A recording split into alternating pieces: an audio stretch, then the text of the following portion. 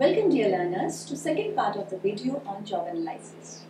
My name is Chayanika Senapati and I am from Maniram Dewan School of Management and I am going to discuss about the various aspects related to job design and techniques of job design. So after going through this video, you will be able to describe the concept and objectives of job design and also you will discuss about the techniques of job design. Let us first discuss about the meaning of job design. The human resource managers have realized that the design of a job has considerable influence on the productivity and job satisfaction. Know, poorly designed jobs often result in boredom to the employees and it may, you know, uh, lead to increased turnover, job dissatisfaction, low productivity and an increase in overall cost of the organization as a whole. All these negative consequences can be avoided with the help of proper job design. It helps in developing appropriate design of job to improve efficiency and satisfaction. So job design can be defined as it is a deliberate and systematic attempt to structure the technical and social aspect of work so as to improve the technical efficiency and job satisfaction. When we talk about objectives of job design, the first objective of job design is to meet the requirements of the organization such as high productivity, technical efficiency and quality work. The second objective is to satisfy the needs of the individual employees such as you know job satisfaction in terms of interest, challenges and achievement. The next objective is to integrate the needs of the individual with the requirement of the organization. When we talk about techniques of job design, we have to mention about work simplification, job rotation, job enlargement, job enrichment, autonomous group working and high performance work design. And uh, these are some of the you know popular techniques of designing the job. And uh, let's uh, discuss about this one by one. First, let us discuss about work simplification. In this technique, the job is simplified or specialized.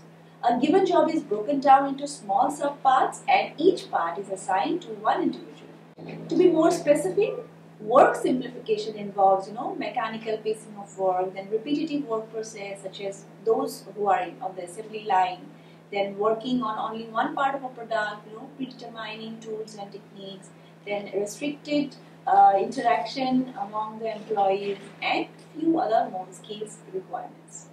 Work simplification is done so that the less trained and less paid employees can do these jobs.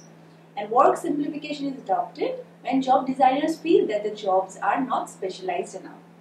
Let us discuss about the second technique that is the job rotation. Job rotation which implies movement of employees from job one job to other. With job rotation, a given employee performs different jobs but more or less jobs of the same nature. On the positive side, it may be say that a job rotation is likely to increase intrinsic reward uh, potential of a job uh, because of different skills and abilities needed to perform it. The organization stands to benefit uh, because workers become competent in several jobs rather than only one. And knowing a variety of jobs improves the worker's self-image, it provides you know, personal growth and makes the worker uh, more valuable to the organization.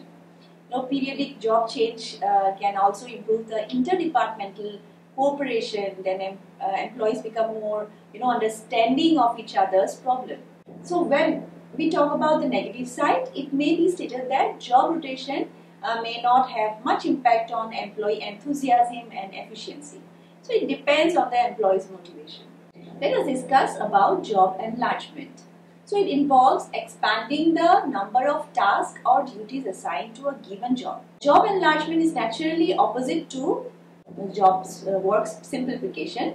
Uh, adding more, you know, tasks or you know duties to a job does not mean that the new skills or abilities are needed to perform it. Uh, there is only a horizontal expansion. So, if a college teacher who uh, you know who was teaching 12 hours per week uh, has agreed to teach two more hours more. So it does not mean that any significant change is there in his or her career. Again, when we discuss about the job enrichment, uh, job enrichment seeks to improve both you know task efficiency and human satisfaction by bringing greater scope for personal achievement and recognition. You know, more challenging and responsible work and more opportunity for individual advancement and growth. An enriched job will have more responsibility and also it has autonomy and uh, more variety of tasks and more growth opportunities. When we compare job enlargement and job en enrichment, uh, job enlargement can be you know considered as horizontal uh, loading and job enrichment can be considered as vertical loading. Now let us have a look on uh, autonomous or self-directed teams. A self-directed or an autonomous team is an intact group of employees who are responsible for a whole work progress or a segment that delivers a product or a service to an internal or external customers. To varying degree, team members work together to improve their operations, handle day-to-day -day problems and plan and control their work. Highly effective teams are composed of groups of you know committed individuals who trust each other, have a clear sense of purpose about the work, are you know effective communication within and outside the team. They make sure that everyone in the team is involved in the decision making process, affecting the group, and uh, they follow a process that helps them plan, make decisions, and ensure quality of their work. When we talk about a high performance work design technique, it is a means of improving performance uh, in an environment where positive and demanding goals are set. It starts from you know principles of autonomous group working and develops an approach which enables groups to work effectively uh, together in situations where the rate of innovations is very high. And the operational flexibility is important and uh, therefore the need of employees to gain and apply new skills quickly with minimum supervision is required. So dear learners, those were the techniques of uh, job design.